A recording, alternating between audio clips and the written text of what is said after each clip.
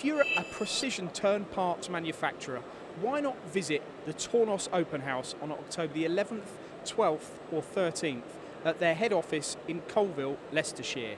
On show at the event, you'll be able to see the latest in turning technology the DT26, the ST26, the GT26, and the Swiss Nano machines will all be on show and doing demonstrations.